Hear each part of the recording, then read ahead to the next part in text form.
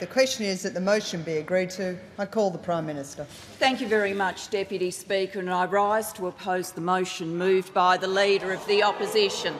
And in so doing, I say to the Leader of the Opposition, I will not be lectured about sexism and misogyny by this man. I will not. And the government will not be lectured about sexism and misogyny by this man. Not now, not ever. The Leader of the Opposition says that people who hold sexist views and who are misogynists are not appropriate for high office. Well, I hope the Leader of the Opposition has got a piece of paper and he is writing out his resignation. Because if he wants to know what misogyny looks like in modern Australia, he doesn't need a motion in the House of Representatives. He needs a mirror. That's what he needs. Let's go through the opposition leader's repulsive double standards repulsive double standards when it comes to misogyny and sexism. We are now supposed to take seriously that the Leader of the Opposition is offended by Mr Slipper's text messages, when this is the Leader of the Opposition who has said, and this was when he was a minister under the last government, not when he was a student, not when he was in high school, when he was a minister under the last government. He has said, and I quote, in a discussion about uh, women being underrepresented in institutions of power in Australia, the interviewer was a man called Stavros. The Leader of the Opposition says, if it's true, Stavros, that men have more power, generally speaking, than women, is that a bad thing? and then a discussion ensues and another person being interviewed says, I want my daughter to have as much opportunity as my son. To which the Leader of the Opposition says, yeah, I completely agree, but what if men are by physiology or temperament more adapted to exercise authority or to issue command?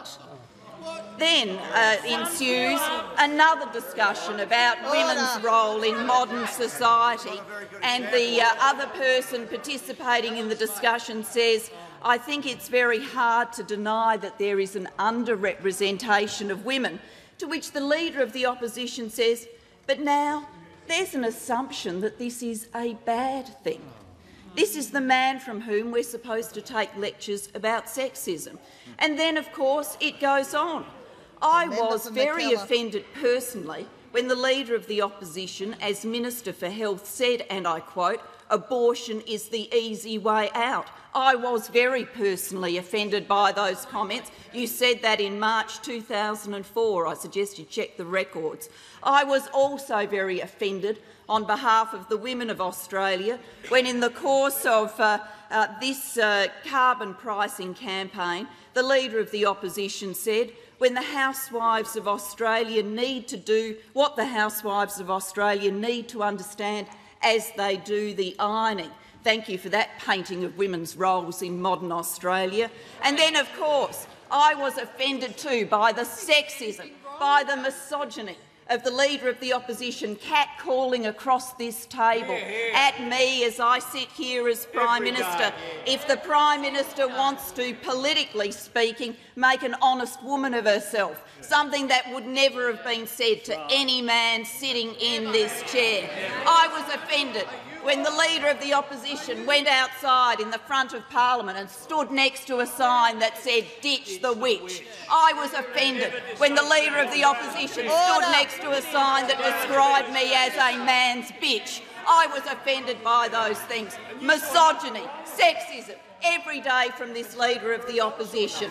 Every day, in every way, across the time the Leader of the Opposition has sat in that chair and I've sat in this chair, that is all we have heard from him. And now, the Leader of the Opposition wants to be taken seriously. Apparently he's woken up after this track record and all of these statements. He's woken up and he's gone, oh dear, there's this thing called sexism. Oh, my lord, there's this thing called misogyny. Now, who's one of them? Oh, the Speaker must be, because that suits my political purpose. Doesn't turn a hair about any of his past statements, doesn't walk into this parliament and apologise to the women of Australia, doesn't walk into this parliament and apologise to me for the things that have come out of his mouth, but now seeks to use this as a battering ram against someone else. Well, this kind of hypocrisy should not be tolerated, which is why this motion from the Leader of the Opposition should Patterson. not be taken seriously. And then second, the Leader of the Opposition is always wonderful about walking into this parliament and giving me and others a lecture about what they should take responsibility for. Always wonderful about that, everything that I should take responsibility for, now apparently including uh, the text messages of the member for Fisher. Always keen to say others should assume responsibility, particularly me. Well, can anybody remind me if the Leader of the Opposition has taken any responsibility for the conduct of the Sydney Young Liberals and the attendance at this event of members of his front bench? Has he taken any responsibility for the conduct of members of his political party and members of his front bench who apparently, when the most vile things were being said about my family, raised no voice of objection? No one walked out of the room. No one The walked up to ministers on the Mr Jones front and bench said that this was not acceptable. Instead, of course, it was all viewed as good fun until it was run in a Sunday newspaper and then the Leader of the Opposition and others started ducking for cover. Big on lectures of responsibility, very light on accepting responsibility himself for the vile conduct of members of his political party. Third, Ms Deputy Speaker, why the Leader of the Opposition should not be taken seriously on this motion. The Leader of the Opposition and the Deputy Leader of the Opposition have come into this place and have talked about the member for Fisher. Well, let me remind the Opposition and the Leader of the Opposition particularly about their track record and association with the member for Fisher. I remind them that the National Party pre-selected the member for Fisher for the 1984 election, that the National Party pre-selected the member for Fisher for the 1987 election, that the Liberal Party pre-selected Mr Fisher for the 1993 election, then for the 96 election, then for the 98 election, then for the 2001 election, then for the 2004 election, then for the 2007 election and then for the 2010 election. And across many of those pre-selections, Mr Slipper enjoyed the personal support of the Leader of the Opposition. I remind the Leader of the Opposition that on the 28th of September 2010, following the last election campaign, when Mr Slipper was elected as Deputy Speaker, the Leader of the, The member for Opposition Melbourne Ports. The Leader of the Opposition at that stage said this, and I quote, he referred to the member for Maranoa, who was also elected to a position at the same time, and then went on as follows. And the member for Fisher will serve as a fine complement to the member for Scullin in the chair. I believe that the parliament will be well served by the team which will occupy the chair in this chamber. I congratulate the member for Fisher, who has been a friend of mine for a very long time, who has served this parliament in many capacities with distinction.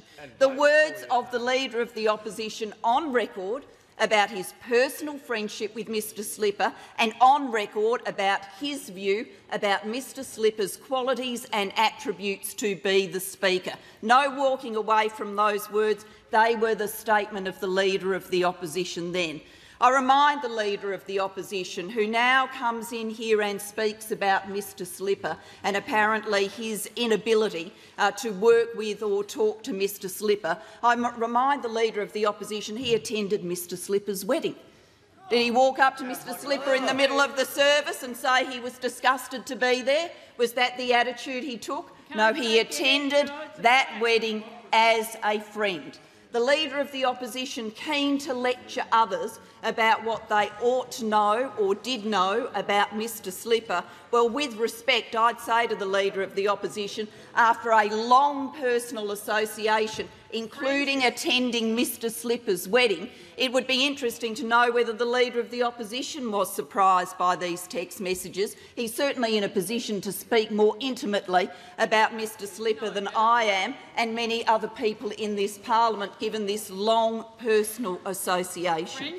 Then, of course, uh, then, of course, the Leader of the Opposition uh, comes into this place and says, and I quote, and says, and I quote, Every day the Prime Minister stands in this parliament to defend this Speaker will be another day of shame for this parliament, another day of shame for a government which should already have died of shame. Well, where's that prize? Well, can I indicate to the Leader of the Opposition the government is not dying of shame. My father did not die of shame. What the Leader of the Opposition should be ashamed of is his performance in this parliament and the sexism he brings with it. Now, about the uh, text messages that are on the public record or reported uh, in the uh, that's, a, that's a direct quote from the Leader of the Opposition, so I suggest those groaning have a word with him. Uh, now, on the uh, conduct of Mr Slipper and on the uh, text messages that are in the public domain, I have seen the press reports of those text messages. I am offended by their content. I'm offended by their content because I am always offended by sexism. I'm offended by their content because I'm always offended by statements that are anti-women. I'm offended by those things in the same way that I have been offended by things that the Leader of the Opposition has said, and no doubt uh, will continue to say in the future, because if this today was an exhibition of his new feminine side, well, I don't think we've got much to look forward to in terms of change conduct. I am offended by those text messages. But I also believe, in terms of this parliament making a decision about the speakership, that this parliament should recognise that there is a court case in progress, that the judge has reserved his decision, that having waited for a number of months for the legal matters surrounding Mr Slipper uh, to come to a conclusion, that this parliament should see that conclusion. I believe that is the appropriate path forward and that people will then have an opportunity to make up their minds with the fullest information available to them.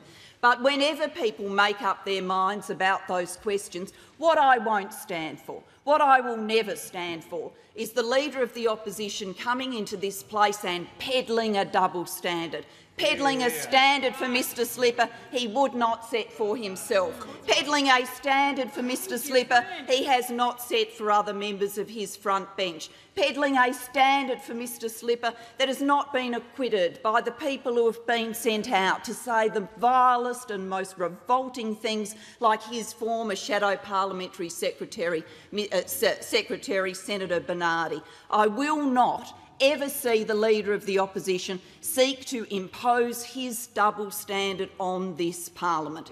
Sexism should always be unacceptable. We should conduct ourselves as it is, should be always unacceptable. The Leader of the Opposition says do something, well, he could do something himself if he wants to deal with sexism in this parliament. He could change his behaviour. He could apologise for all these past statements. He could apologise for standing next to signs describing me as a witch and a bitch, terminology that is now objected to by the front bench of the opposition. He could change a standard himself if he sought to do so. But we will see none of that from the Leader the Opposition because on these questions he is incapable of change capable of double standards but incapable of change. His double standards should not rule this parliament.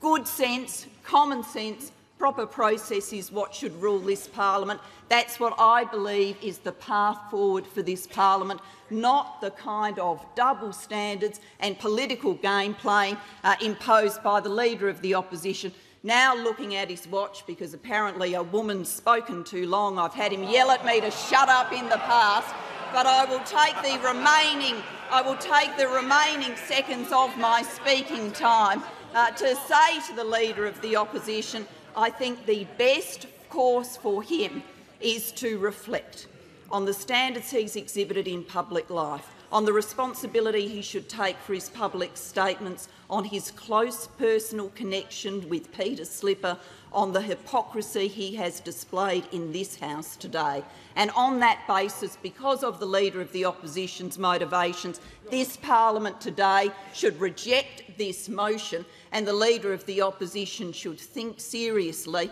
about the role of women in public life and in Australian society because we are entitled to a better standard than this. Yeah.